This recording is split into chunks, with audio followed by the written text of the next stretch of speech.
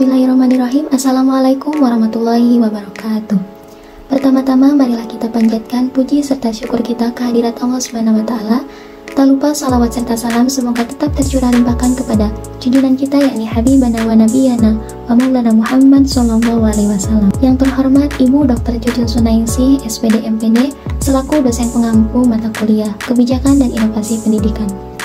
Kami dari kelompok 12 akan membahas tentang kebijakan dan inovasi TIK dengan anggota kelompok saya sendiri yaitu Umi Mutia Jauh dengan NIM 2201228 dan Siti Fatimah 2209665 Dwi Cahara Aulia dengan NIM 2206636 Topik pembahasan yang akan disampaikan oleh kelompok kami ada tiga poin yaitu yang pertama ada konsep e-learning yang kedua ada pengembangan model pembelajaran melalui internet, yang ketiga ada contoh kebijakan dan inovasi TIK pada SD. Pembahasan yang pertama yaitu tentang konsep e-learning, pengertian kebijakan dan inovasi TIK. Kebijakan TIK merupakan ketentuan, aturan, pedoman, dan standar untuk mengatur penggunaan teknologi informasi dan komunikasi dalam suatu organisasi atau wilayah. Kebijakan ini bertujuan untuk memastikan bahwa TIK digunakan secara efektif, efisien, aman, dan bertanggung jawab. Inovasi TIK adalah penciptaan teknologi yang baru atau pengembangan teknologi yang sudah ada untuk meningkatkan kinerja, efisiensi, dan efektivitas TIK. Inovasi ini dapat terjadi di berbagai bidang seperti perangkat lunak, perangkat keras, jaringan, dan layanan. Contoh inovasi TIK yaitu internet, telepon seluler, dan media sosial. Pengertian e-learning E-learning merupakan singkatan dari electronic learning yang memiliki arti belajar menggunakan elektronik. E-learning merupakan cara baru dalam proses belajar mengajar dengan menggunakan media internet. Menurut Rosenberg, e-learning merujuk pada penggunaan teknologi internet untuk mengirimkan serangkaian solusi yang dapat meningkatkan pengetahuan dan keterampilan. Jadi, E-learning merupakan sebuah pendekatan yang menggunakan teknologi untuk menyampaikan materi dan mengembangkan pengetahuan serta keterampilan. Menurut Dahya, e-learning merupakan teknologi informasi dan komunikasi yang dimanfaatkan agar siswa lebih aktif dalam belajar kapan saja dan di mana saja. Karakteristik e-learning Terdapat empat karakteristik e-learning, yaitu interaktif, kemandirian, aksesibilitas, dan pengayaan. Yang pertama ada interaktif. Jalur berkomunikasi dalam e-learning dapat dilakukan secara langsung ataupun secara tidak langsung. Dua, kemandirian. Pembelajaran lebih berfokus pada siswa karena fleksibel terhadap waktu, guru, lokasi, dan bahan ajar sehingga siswa mempunyai kemandirian dalam belajar. Tiga, aksesibilitas. Sumber belajar dapat diakses dengan internet sehingga memudahkan pengguna dalam mengakses sumber belajar. Empat, pengayaan. Dengan adanya berbagai fitur seperti video, audio, gambar, animasi, dan lain sebagainya, sehingga memudahkan pengguna untuk memperbanyak informasi.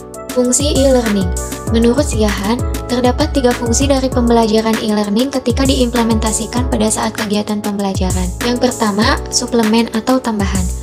E-learning berfungsi sebagai tambahan atau pelengkap pembelajaran. E-learning menyediakan sumber daya dan materi tambahan bagi siswa untuk mempelajari lebih lanjut materi atau meninjau kembali konsep yang dianggap menantang oleh siswa. Yang kedua, komplement atau pelengkap. E-learning berfungsi sebagai pelengkap materi yang telah disampaikan oleh guru di dalam kelas. E-learning juga dapat melengkapi pembelajaran di kelas seperti kuis online atau interaktif. Yang ketiga, substansi atau pengganti. E-learning berfungsi sebagai pengganti pembelajaran yang masih tradisional di dalam kelas. E-learning sebagai pengganti juga memberikan alternatif yang dapat dipilih dan disesuaikan dengan waktu yang diinginkan, seperti belajar tatap muka, sebagian online, ataupun sepenuhnya online. Selanjutnya ada pengembangan model pembelajaran melalui internet. Nah, sebelum mengetahui pengembangan model pembelajaran melalui internet, kita harus tahu dulu nih, apa itu model pembelajaran. Model pembelajaran menurut Joyce and Well berpendapat bahwa model pembelajaran adalah suatu rencana atau pola yang dapat digunakan untuk membentuk kurikulum, merancang bahan-bahan pembelajaran, dan membimbing pembelajaran di kelas. Model pembelajaran juga dapat dijadikan pola pilihan atau artinya guru boleh memilih model pembelajaran yang sesuai dan efisien untuk mencapai tujuan pendidikan. Pembelajaran memiliki peran yang sangat penting dalam pembelajaran karena Model pembelajaran adalah landasan dan pedoman dalam setiap merancang dan melaksanakan kegiatan belajar mengajar. Nah, selanjutnya, apa itu pembelajaran berbasis internet? Pembelajaran berbasis internet adalah suatu kegiatan pembelajaran yang memanfaatkan media atau situs yang bisa diakses melalui jaringan internet. Pembelajaran berbasis internet juga merupakan salah satu bentuk e-learning yang materi atau penyampaiannya itu melalui internet. Pembelajaran ini tentunya bisa menjadi pengalaman anak untuk belajar dengan memanfaatkan jaringan internet dengan berkomunikasi dan menyampaikan informasi pembelajaran dan internet dapat menjadikan sebuah lingkungan belajar maya yang menyenangkan bagi anak-anak. Selanjutnya ada pengembangan model pembelajaran melalui internet. Pengembangan model pembelajaran melalui internet adalah proses merancang, mengimplementasikan, dan memperbarui metode-metode pembelajaran yang menggunakan teknologi internet sebagai media utamanya. Model ini memanfaatkan berbagai platform dan alat digital untuk memberikan pengalaman belajar yang lebih interaktif, fleksibel, dan dapat diakses secara daring atau luring. Pengembangan model pembelajaran melalui internet ini uh, bisa juga mempersiapkan anak untuk menjadi lebih terampil dalam menggunakan teknologi, yang di mana teknologi ini merupakan keahlian penting di era digital saat ini. Menurut Hagi dalam SAU 2018, ada tiga bentuk sistem pembelajaran melalui internet yang bisa dipertimbangkan sebagai dasar pengembangan sistem pembelajaran dengan mendaya gunakan internet. Yang pertama, ada web source. Web source adalah penggunaan internet untuk keperluan pendidikan yang seluruh bahan ajarnya seperti diskusi, konsultasi, penugasan, latihan, ujian, dan kegiatan pembelajaran lainnya sepenuhnya disampaikan melalui internet. Model ini menggunakan sistem jarak jauh antara peserta didik dan pendidik. Namun, hubungan atau komunikasi antara peserta didik dan pendidik bisa dilakukan setiap saat dengan menggunakan komunikasi yang dilakukan secara asinkronus daripada sinkronus. Bentuk web source ini tidak memerlukan adanya kegiatan tatap muka, baik untuk keperluan pembelajaran maupun evaluasi dan ujian. Yang kedua ada web-centric source. Web-centric source adalah penggunaan internet yang memadukan antara belajar jarak jauh dan tatap muka. Sebagian materi disampaikan melalui internet dan sebagian laginya melalui tatap muka. Eh, seperti bahan ajar, diskusi, konsultasi, penugasan, dan latihan disampaikan melalui internet, sedangkan ujian serta sebagian konsultasi diskusi dan latihan dilakukan dengan tatap muka. Yang terakhir ada Web Inherent Source, yaitu pemanfaatan internet untuk menunjang peningkatan kualitas pembelajaran yang dilakukan di kelas. Kegiatan pembelajarannya yaitu tatap muka di kelas. Peranan internet di sini adalah untuk menyediakan sumber-sumber belajar yang kaya akan berbagai sumber belajar yang disesuaikan dan bisa diakses secara online. Hal ini dilakukan untuk meningkatkan kualitas dan memperluas kesempatan berkomunikasi antara pengajar dengan peserta didik secara timbal balik. Selanjutnya, pengembangan model pembelajaran melalui internet mencakup beberapa aspek, yaitu yang pertama, perancangan kurikulum pembuatan kurikulum dan materi pembelajaran yang sesuai dengan kebutuhan siswa dan memanfaatkan kemajuan teknologinya yang meliputi pemilihan konten, pembuatan materi pembelajaran interaktif, dan integrasi teknologi ke dalam proses pembelajaran. Lalu yang kedua ada penggunaan platform. Penggunaan platform tentu saja harus memilih dan memanfaatkan platform pembelajaran yang online seperti Learning Management System atau platform khusus pembelajaran daring. Platform ini memungkinkan pengajar untuk mengelola materi, memberi tugas, dan berinteraksi dengan siswa secara online. Lalu yang ketiga ada pengembangan konten multimedia. Pembuatan konten pembelajaran yang beragam seperti video pembelajaran, simulasi interaktif, modul teks digital, dan sumber daya multimedia lainnya. Konten ini bertujuan untuk meningkatkan pemahaman siswa dan membuat pembelajaran yang lebih menarik. Lalu yang keempat ada pelatihan dan dukungan teknis.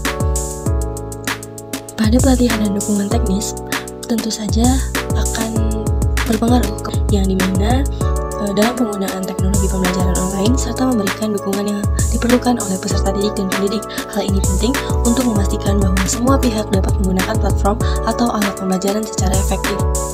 Contoh kebijakan dan inovasi TIK pada SD. Yang pertama, yaitu Canva. Canva merupakan salah satu aplikasi yang mengandung pembelajaran secara visual dan melatih kompetensi visual peserta didik. Canva adalah program desain online yang menawarkan berbagai alat pengeditan untuk membantu dalam membuat berbagai desain grafis seperti poster, infografis, spanduk, kartu undangan, presentasi, dan lain sebagainya.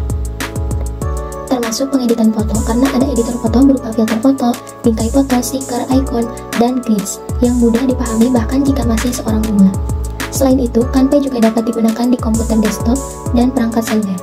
Ini memungkinkan pengguna untuk berkreasi kapan saja dan di mana saja, Dengan akses yang fleksibel seperti itu, pengguna Canva dapat terus berinovasi dan bekerja pada proyek yang ingin dilakukan tanpa terbatas oleh tempat atau waktu. Google Classroom Penggunaan Google Classroom adalah suatu serambi aplikasi pembelajaran campuran secara online yang dapat digunakan secara gratis.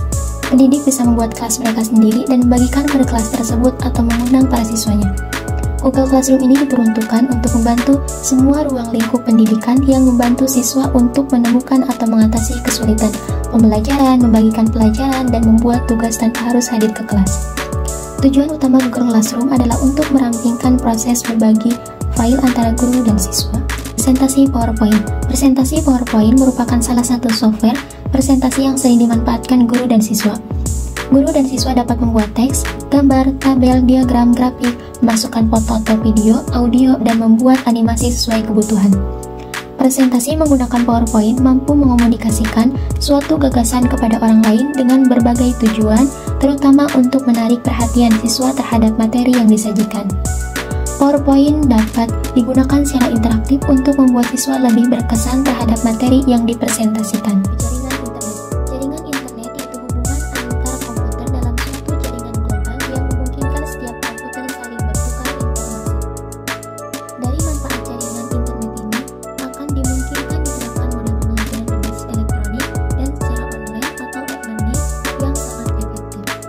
Mungkin cukup sekian pemaparan materi dari kelompok kami. Terima kasih. Wassalamualaikum warahmatullahi wabarakatuh.